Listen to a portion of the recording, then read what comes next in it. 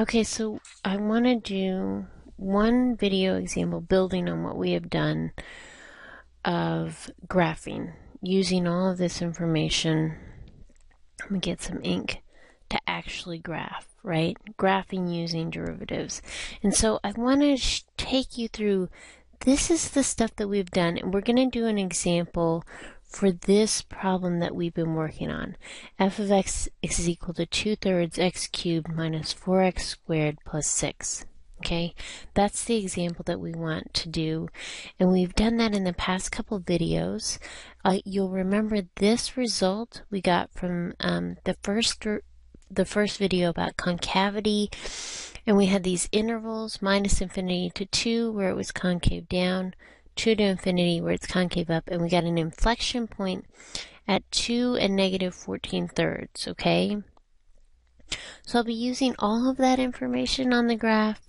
I also in the next video we got some information about um, relative maximums and minimums. We have a maximum um, of 6 at x equals 0. That means the point 0, 6 is on my graph and the point uh, 4 and negative 46 thirds is also on my graph. Um, and those are relative maximums at 6 and a relative minimum at this negative 46 thirds. Okay, so that is almost all of the information that you can pull from the second derivative. Let me go ahead and zoom back in here. Okay, and then I want to scroll down and get the information that we can and that we got before from the first derivative. Hold on, I think I'm a little bit too zoomed in. One second. Okay. So I want to go ahead and get the information that I need from the first derivative. So all of that stuff, so but I can still get information about increasing, decreasing. That's kind of the information that I'm thinking in my head that I would like to have. Um, in terms of those intervals. So for this function, again, f of x is equal to 2 thirds x cubed minus 4x squared plus 6. I want to find the intervals that the graph is increasing and decreasing.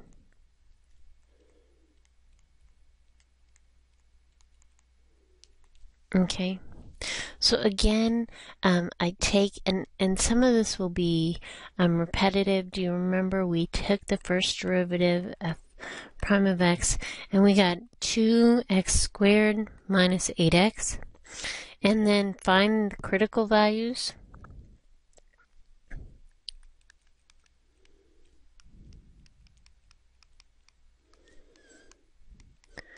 I, those come again from f prime equal to 0 or, that's what I forgot the last time, f prime undefined. Right? So f prime, this is never undefined, but setting equal to 0 led me here. x is equal to 0 and x is equal to 4. Okay? And that's all stuff that we did in the last video.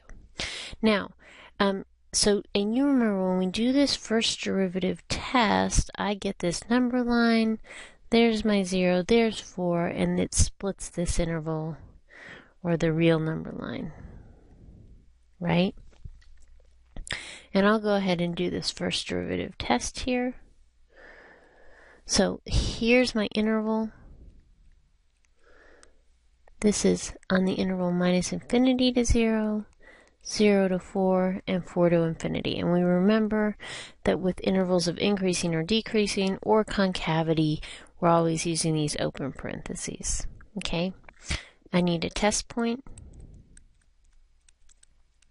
in each of these intervals, so just pick your favorite point in here.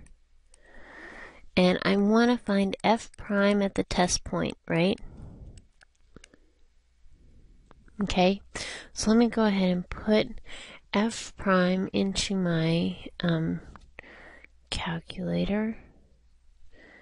And I get, and f prime is this 2x squared minus 8x.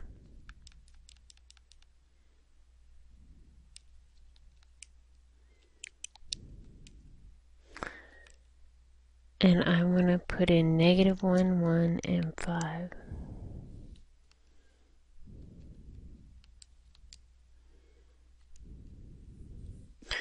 So at negative 1, I have an output of 10 for f prime, negative 6, and 10 for 5. Okay? Okay. So, um, and now we, is that positive or negative, right? That's always my question. Here it's positive, that means it should be increasing.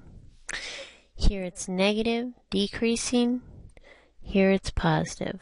So here is where again you saw that relative maximum, right? At this point, x is equal to 0, and here, like that, we had a minimum. Okay, and that's the first derivative test. That just confirms the results that we got from the second derivative test. Okay?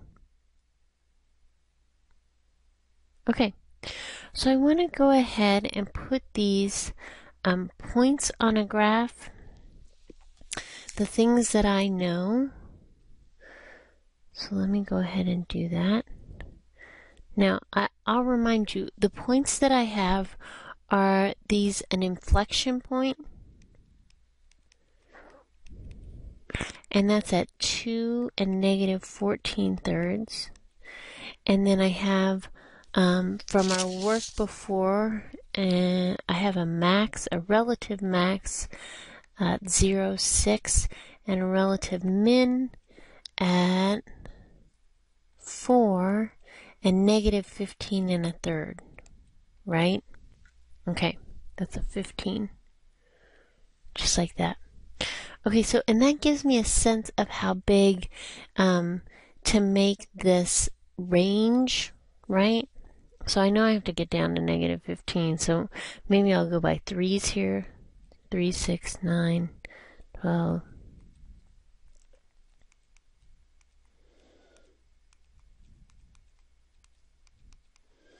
just to make sure that I can fit this all in.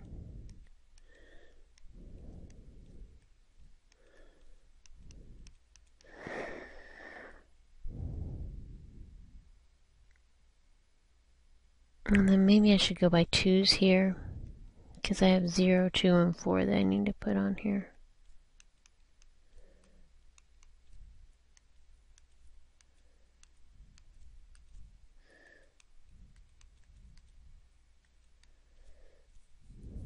This one is a little bit not spaced very well. Okay, so I'm going to put these points on here, uh, 2 and negative 14 thirds, right? Which is about, so 2 and negative 4 and a little bit. So maybe right in here.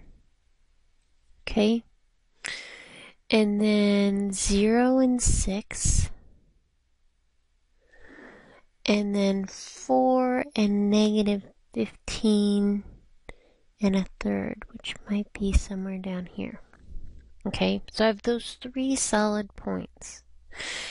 Now, the other thing that I know is this is I have a point of inflection here. And at my point of inflection, the graph is changing from concave down somehow to concave up. Okay? So maybe it looks something like this, right? That's kind of the idea, that S shape.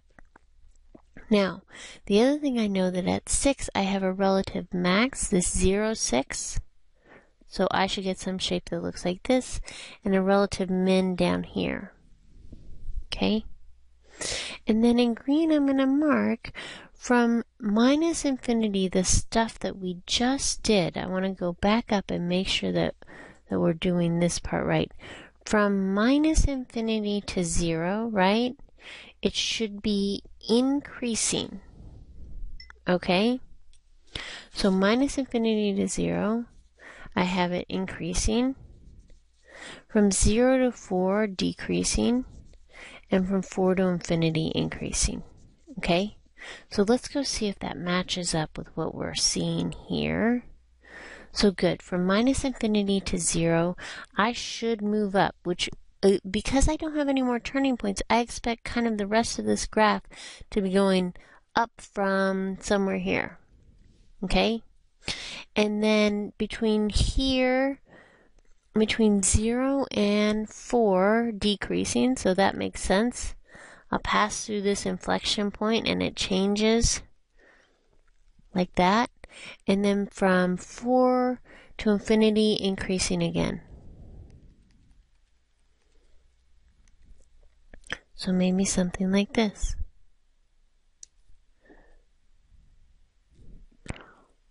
Mm-hmm. If you want to make the graph a little bit more accurate, and honestly, um, this would be a good idea, just find x and y intercepts to identify, because right here, do you see this? That's an estimation on my part, here, here. And those are pretty important points where they cross the x-axis. Does that make sense? So if you want to go through and just find the x um, intercepts so that you're sh- absolutely sure where this thing is crossing, that's not a bad idea. Um, sometimes it's a little bit harder to find. If you remember our, our original function f of x is equal to 2 thirds x cubed minus 4x squared plus 6 those would be hard to find by hand. Using the information that we have done, that's not factorable. We haven't talked about how to find cubic, so it's it's not always possible um, to do that by hand. But but if you can, that that might be a good uh, good possibility, uh, or maybe something to try. Okay, but this is the idea of putting all that information together the concave down, concave up, those points of inflection, increasing, decreasing. A lot of those things you should see line up into the idea of where you um, need to build this picture. Okay, so I want to do.